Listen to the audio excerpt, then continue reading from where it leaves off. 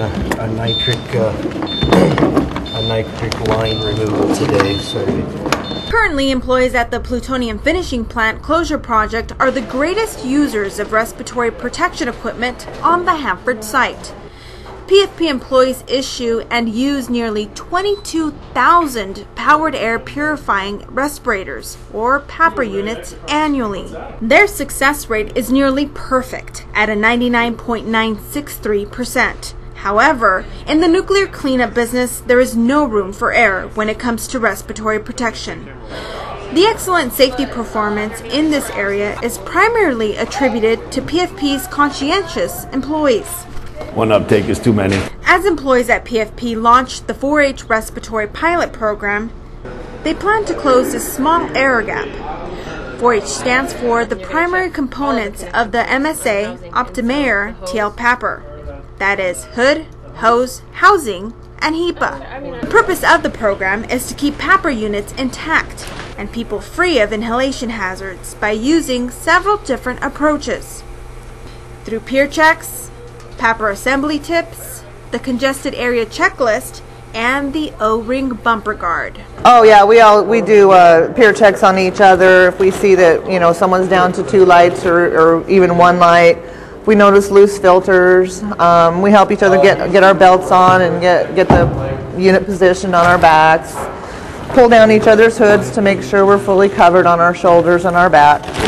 And yeah, just generally check out your partners and your coworkers. Peer checks have always been a part of safety at PFP, but the new criteria helps put a formal process in place. Peer checks are now designated during the pre-job. The peer checker will help their coworker during assembly and while performing work. Once a worker is checked, the peer checker will give the coworker a 4H sticker signifying that the peer check took place. it's uh, extremely vital that we make sure that this particular unit's functioning properly. You're checking for this, and then you're sticking it in here to make sure it seats in. There is a better way to ensure proper TL filter installation. There's two main reasons that they've been coming off. One is they're not assembled correctly, and the second one is a direct impact to the filter that could possibly have it come off. We've come up with some steps to make sure that the assembly is correct.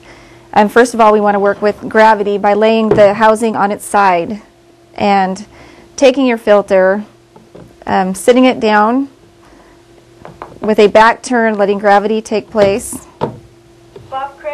and then turning it on. You pretty much have to be aware of your surroundings, uh, everything. There's a lot of uh, a lot of stuff that could go wrong back there.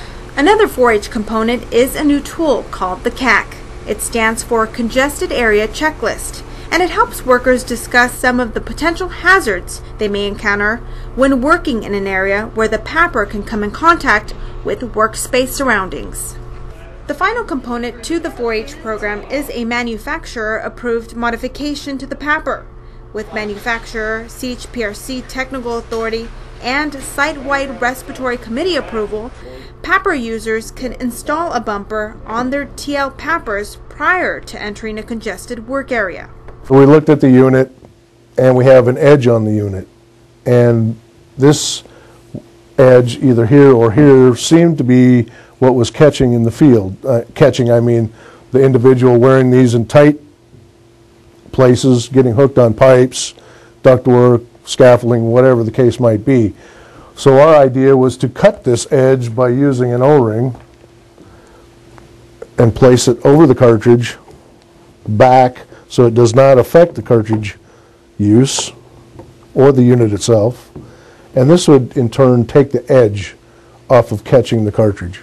That is our current philosophy and help curbing the cartridges from coming up. PFP's type workspaces include piping runs, glove boxes, vents, and many other obstacles. The PFP Closure Project respiratory pilot will significantly decrease the likelihood of TL PAPR filter separations, as employees have become more involved and have endorsed the program. We continue to strive for um, greater levels of improvement and success uh, when it comes to working in this facility when we have not only plutonium but also chemical vapor hazards. Whether we are talking about the O-ring, congested area checklist, assembly tips, or the 4 H peer check criteria, the 4 H program goal is based around workers actively caring and watching out for each other and ensuring everyone goes home to what matters the most.